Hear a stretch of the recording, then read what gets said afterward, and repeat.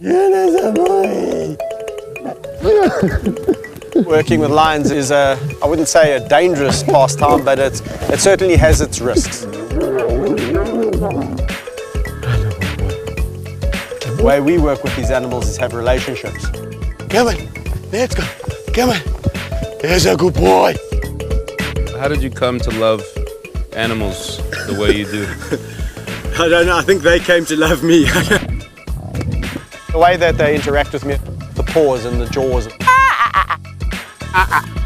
It's almost like they know I'm an honorary member of the pride and I'm not quite as strong as them when it comes to tearing the flesh. Zolani, yeah, yeah, yeah. Da, da, da, da, da, da, da. Yeah, yeah. Get me in the cage. He's more nervous of you. Yeah. I walked with lions, not really, but kind of. So, um, how come I'm in here and you're out there? Well, I think the easy answer to that is you're not part of their pride. The interesting thing about lions is that they're the only truly social cat.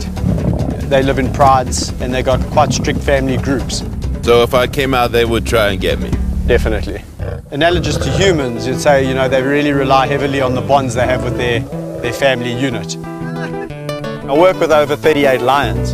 So, uh, you know, if you could imagine working with 38 people, your relationship's going to be different with, with each. Do your hair for the day.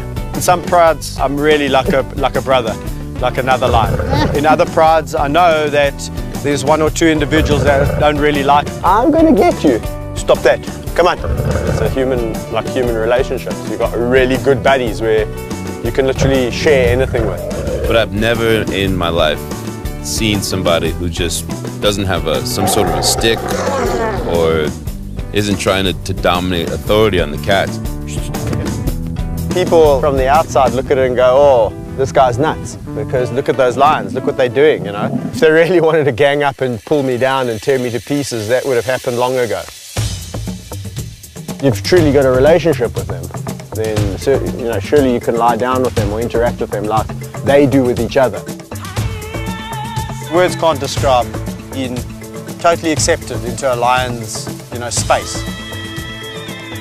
And there's a big difference between being tolerated by an animal and being accepted by an animal.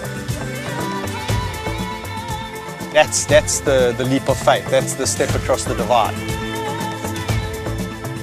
There's no animal on this planet that humbles you quicker than a lion.